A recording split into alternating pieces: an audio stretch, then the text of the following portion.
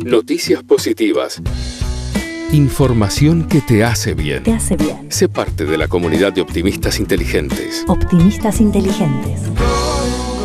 Estamos en la provincia de San Juan, invitados por LAN Argentina, en un encuentro muy particular y nos lo va a contar Mercedes Mistorni, subgerente de comunicaciones y de responsabilidad social empresaria de LAN Argentina. ¿Cómo estás, Mercedes? Acá estamos muy bien, muchas gracias por invitarnos. ¿Dónde estamos?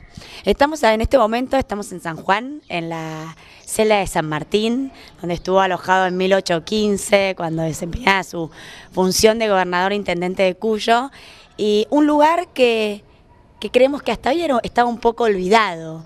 Y, lo que vinimos a hacer hoy como LAN Argentina a San Juan, hoy durante cuatro días, y también se estuvo trabajando previamente eh, durante dos semanas, es generar conciencia turística, es revalorizar el patrimonio cultural que atesoran distintas de nuestras distintas ciudades de nuestro país y que por diferentes motivos por ahí no estaban revalorizadas. Y lo que venimos a hacer es eso, a, poner una puesta en valor, a pintarla, a, darle una jerarquización mayor.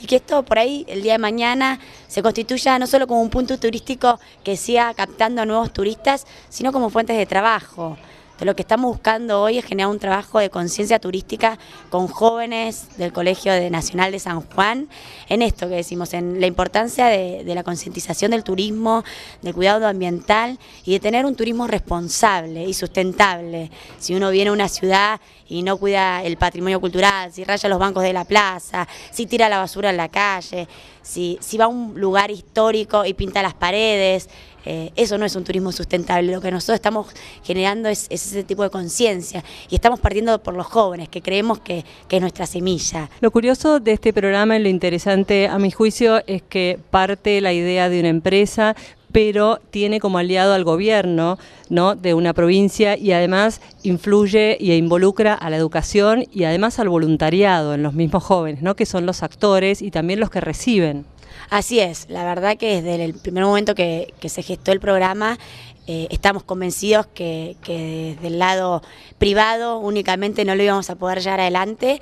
Y ahí es donde involucramos al gobierno de San Juan, a Gioja, al intendente de, Marcelo Liman, intendente de, de San Juan Capital, a Dante Lizondo, ministro de Turismo, ministra de Educación, para hacer un trabajo en conjunto. O sea, nosotros podemos venir acá, sembrar, poner la semillita, pero esto tiene que ser un trabajo articulado por todas las partes.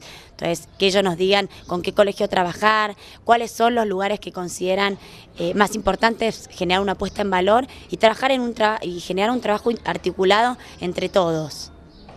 Hoy en la presentación se dio una charla que más bien fue una clase de lo que es la sustentabilidad, ¿no? Y fue impresionante, impactante ver cómo realmente los chicos dijeron no estaban informados al respecto.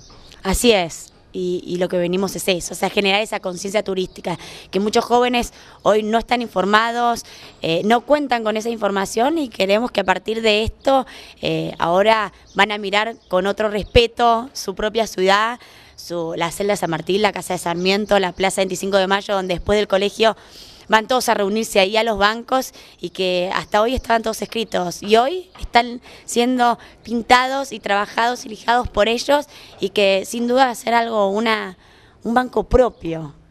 Seguimos en Facebook y Twitter. Conectate desde www.noticiaspositivas.org.